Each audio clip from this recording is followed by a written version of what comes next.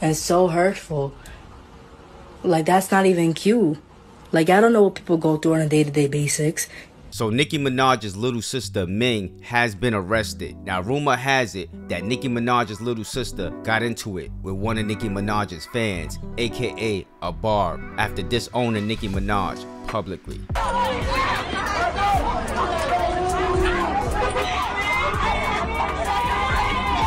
Now that clip right there is Nicki Minaj's little sister Ming being held back by police officers in Queens, New York. Now after that clip went viral, Ming took the live to explain the situation and while on live, she had a back and forth with one of Nicki's stans, aka a Barb.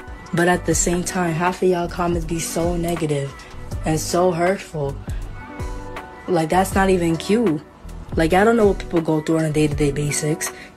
I don't even want to be on live app every single time because I the reason why I even like stop doing live from time to time now is because half of these comments are so negative. Now, not only did she get into it with a Nicki Minaj Barb, she also spoke on the beef between Nicki Minaj and Megan Thee Stallion. Whatever beef that's going on, I go, I really don't give a fuck for it. Like that got nothing to do with me. I'm working on my life. I'm working on my my grind.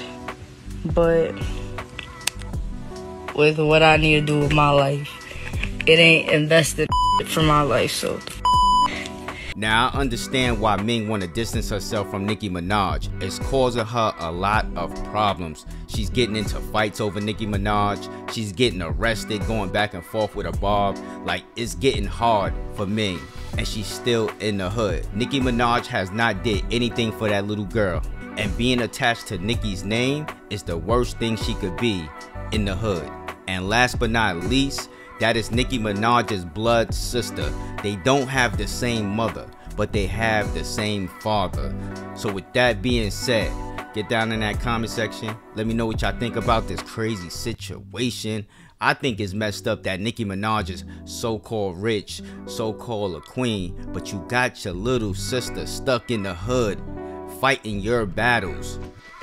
Like, come on now.